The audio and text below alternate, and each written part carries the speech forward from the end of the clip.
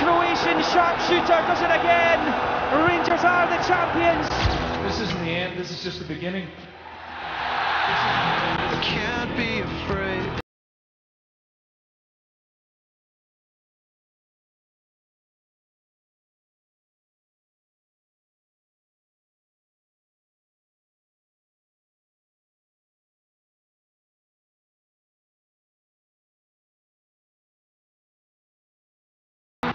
If this gets any worse, you know, I will hand my resignation. They've done it! Celtic are level! Hooper!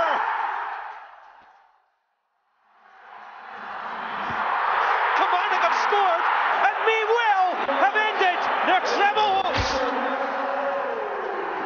It's Samaras with a header, and it is 1 nothing. And the title is well within their grasp. So the question was, would there be a title party at Kilmarnock for the second successive season? The answer, as if you didn't know it already, coming up as we review the SPL weekend in the company of Pat Nevin. We'd have liked to have a Celtic player, coach or the manager with us as well, just so, so as you know we did ask. Here's how it all unfolded at Rugby Park yesterday. Kilmarnock attempted to spoil the party with this lineup. Defender Lewis Toshney, who's on loan from Celtic, couldn't play, and he was replaced by midfielder Liam Kelly. This was the team Celtic hoped would cross the finishing line. In came Adam Matthews, Kelvin Wilson, and Ki Sung-yueng. Anthony Stokes was on the bench. Highlights with Al Lamont. The Celtic supporters packing the rugby park stands to the rafters. As Ki swings in the corner, Charlie Mulgrew rises and gives Celtic the perfect start to what they hope will be the perfect day. Gary Harkins stood and watched as Charlie Mulgrew rose and Kenny Shiels' side behind early on. Back for Ki. Scott Brown. Mulgrew pops up on the right hand side. That's a good delivery. There's Glenn Loovens. Celtic have a two goal lead. And the title party can surely begin already. Lovely ball from Mulgrew, playing provider this time. And Loovens lost Sissoko. Lennon guiding it into the back of the net.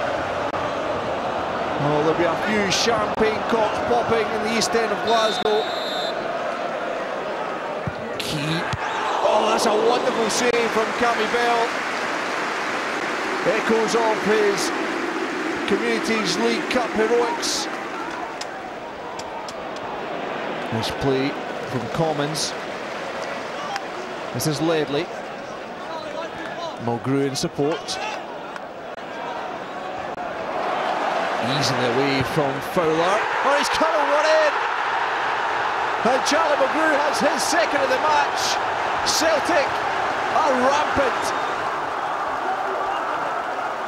It's a beautiful finish on what is his weaker foot. And Charlie Mulgrew, one of the contenders for Player of the Year, surely. Ki. It's a lovely spot. Here's Commons. Samaras is in support. Another great save from Cammy Bell.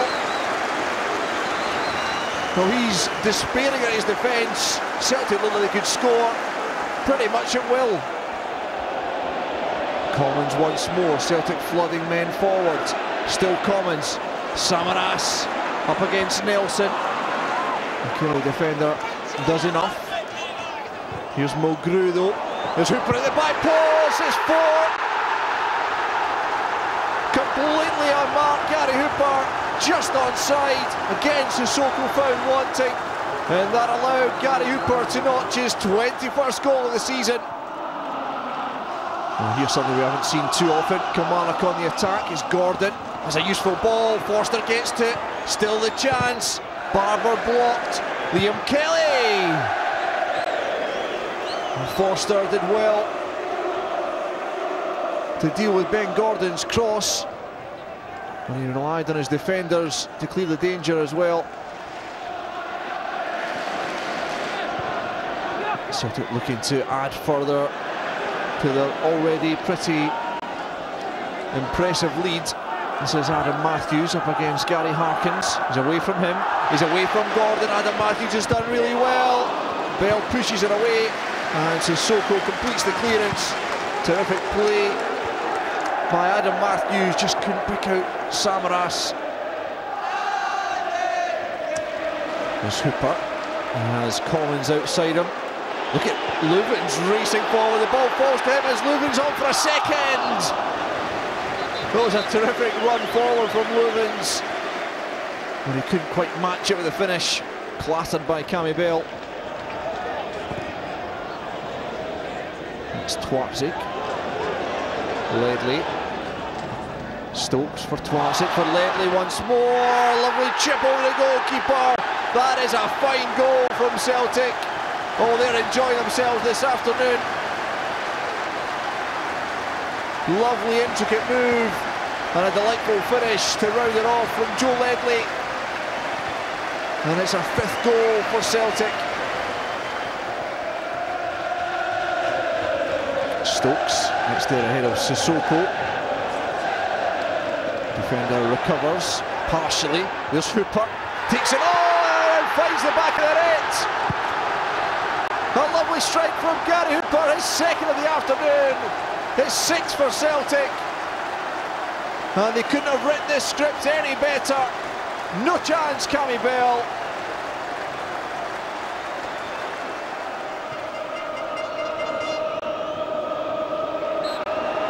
The final whistle goes. Celtic can truly celebrate now a first SPL title in four years. It's been a long wait, but they'll feel it's worth it now. The celebrations can begin in earnest. Worthy champions, despite all that's gone on. And a fine way to seal the title victory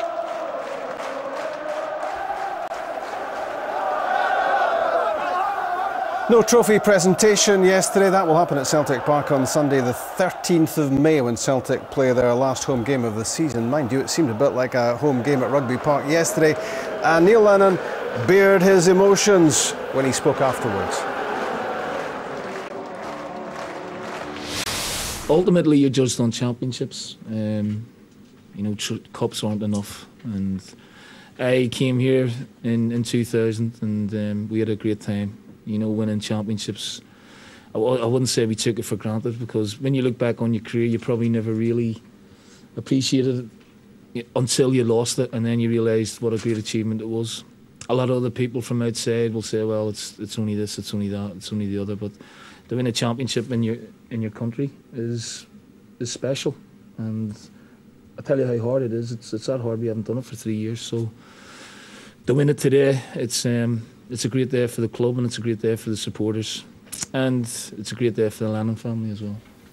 Yeah, great moment for, for Neil Lennon and those around him. Well done to him. Mm-hmm. And his success part all the greater when you think about what he's had to contend with, both in the background and very much in the foreground. Um, very much so. I mean, it's it's a hard enough job, you know, to do in any circumstances. But add what he's had to deal with off the park as well. It's incredible. I remember talking to Gordon Strachan about it and said that that job, you know, burst his head. And he was a seasoned manager, and this is Neil Lennon, just into his first job. He had being Celtic manager and all the other stuff on top of it as well. So he's been under a huge amount of pressure, and he's coped with it, I think, generally very admirably indeed. At Rugby Park, just about the perfect day for Celtic. Uh, it was like a, a, home game because Rugby Park was full of Celtic supporters. And if there was any doubt about Charlie Mulgrew for Player of the Season, maybe those doubts were removed right here. I tell you what, he's absolutely fabulous. That left foot is unbelievable. Uh, I mean, I don't know. There's, there's not many better, definitely in Scotland, but nobody made much better in England either and his right foot's okay as well. I mean, fantastic. And he's basically destroyed Kilmarnock, and it's the perfect way to start the game. They started it incredibly well, and after that, he just played beautiful football. This is brilliant. That little flick, ah, and it's when you when you're playing with confidence, you're well ahead. You want to win the league in the right way, in a memorable way. And you know, it would have been unfair slightly if uh, Hooper wouldn't have scored as well, and he got a couple of goals as well. And to be honest, everything went absolutely perfectly. And it could have went another way, you know, they could have won it when they weren't playing, somebody else lost. But they won it the perfect way, and it's something that will live in their memories forever. Yeah, the scenes back at uh, Celtic Park uh, were incredible as well. The players looking to capture the moment because when you win your first title winners medal, it's a bit special. And for most of them is, as you say. Um, and for him, obviously, well, he's won titles before, but his manager is special as well. Good for the Celtic fans there. Maybe a lot of the people that didn't manage to get tickets to go down to Rugby Park as well. You can't really get a, a bus trip through Glasgow for the obvious reasons, so that's this is the way it kind of has to be done. But they've celebrated, they've enjoyed it, and, and they've deserved it as well. Um, and to do it's a phrase that's often used at Celtic, but to do it in the Celtic way, it's an attacking way, it's an entertaining way, it's a skillful way, and I think you can, with every bone in your body, you can say that's exactly the way they did it today. Let's look back on five key moments mm. in what has been uh, an amazing title turnaround. Starting, uh, of course, where else could you start but at Rugby Park? Well, it was astonishing because it hadn't been a great start to the season. Rangers had started well, 3 0 down at half time, as we know. And uh, Neil Lennon wondering if he'll bother carrying on, but you know he'd got Stokes in from Hibernian and he did a great job there, brought them back, and they started to believe. And you can feel a team just growing. And by the way, it's that boy Mulgrew again. Um, you can feel a team just growing at this point in time. They start believing in themselves, and I think this was an important game as well. And, th- and this, of course, was the start of the 17-game SPL winning run. Yeah, and it's the belief that just kept on growing from there. And again, there are moments in any season. This, I think Neil Lennon thought this was the most important. You know, the fact that you're you're actually a goal down, you're at Motherwell, you take over Motherwell in this game. And again, the big thing for me is so many players used at important times. You know, and, and you forget the players that are were used and maybe left out late in the season. And, and, and, the, and the, night before, of course, Celtic had gone 15 points behind, so that was hugely significant, as was this special goal from Victor Wanyama. But also, I think the value and the, and the quality of Fraser Forster was displayed in this match well, as well. see, Wanyama coming through was fantastic because you know uh, big players at big times were needed, but this is the last minute. And again, the belief just grows. And Forster had had tough times before that and he he from then on and become better and better and better. Now, what's the best way to go on top of the league? Go two points clear is to beat your oldest rivals and uh, beating Rangers. Not only beating them at Celtic Park, but with a headed goal, which Rangers don't lose many of. That's what their strength was. And after that, they just motored away, and they were never going to get caught. And it was a question really of not of if, but when. Yeah, I mean, the inevitability uh, uh, about the winning of the title, but just look at these pictures of, mm. of Neil Lennon from yesterday. Look at the release of joy here. There is only one word I can think of there ecstasy. Um, it's absolute ecstasy.